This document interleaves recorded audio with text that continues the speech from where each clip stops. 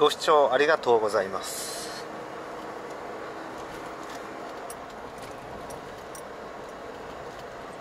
なかなか雨が降らない。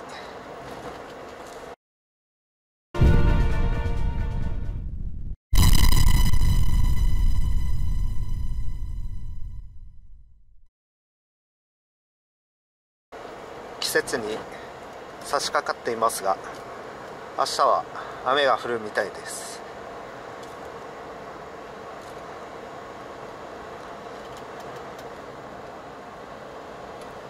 今少し注目しているのはジーソミア破棄をどうするか。韓国が11月22日もうすぐジーソミアを破棄するのかという点ですが五分五分の見通しがしかし多分ですが継続しないと考えます。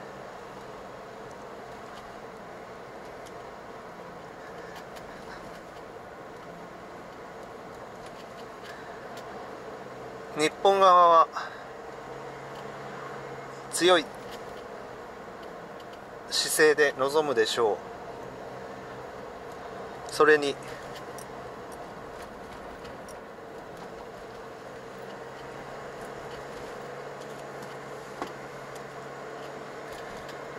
何よりも今までの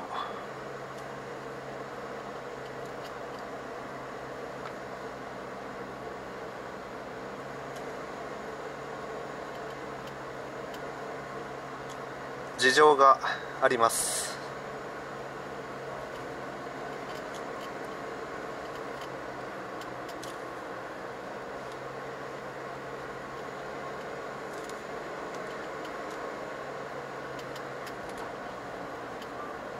ジーソミア秋による。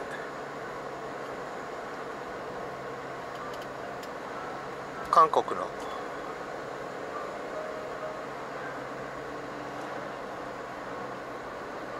軍事的な痛手は大きいと考えられます。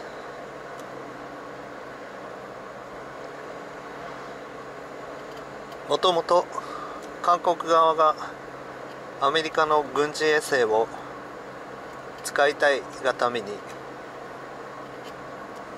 言い出したことでしかし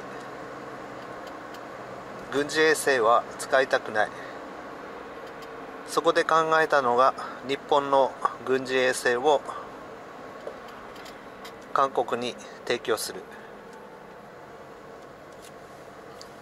そういう裏事情が実はあるんですよね。まあ日本としては別に困ることはない。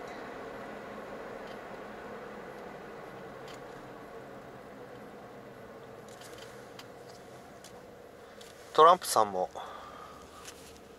もうちょっとお疲れ気味の状態です。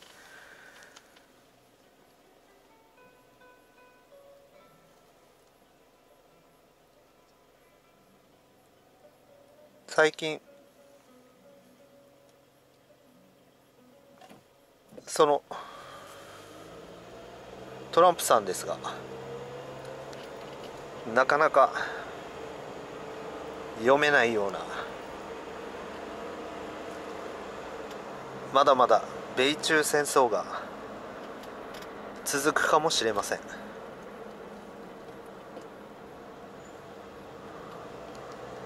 貿易。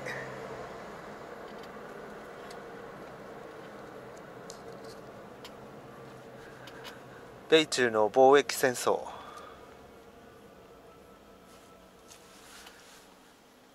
各国早く終結しないかやはり期待はしています。ですが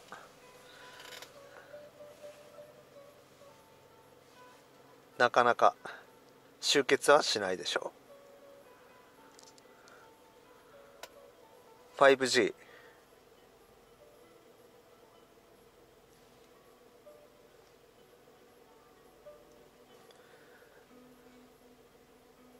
この 5G をどちら側が取るか。インターネット戦略でアメリカが先に来ていた今までの時代とは異なる構図へと変化していくでしょ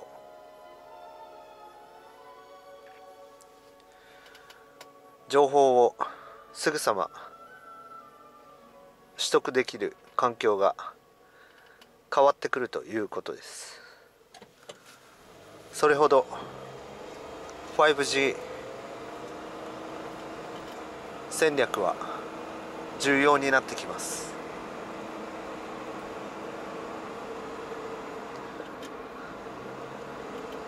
ものすごい速さの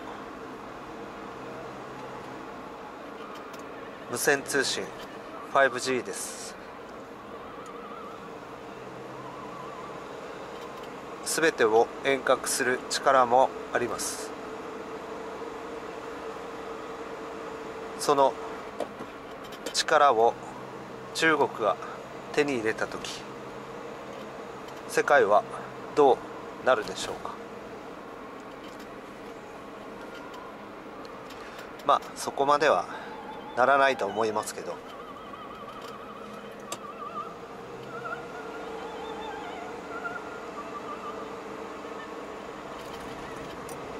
アメリカも今までやってきたことですのでそれが重々わかるということです。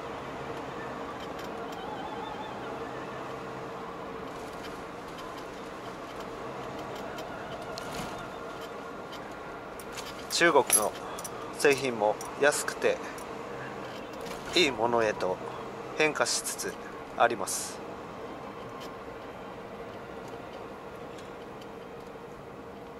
さて 5G へ。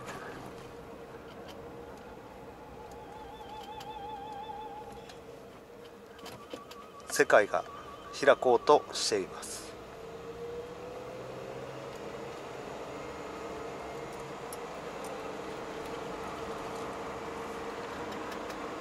もしかすると何でも無人で動く世界が来るのかもしれません。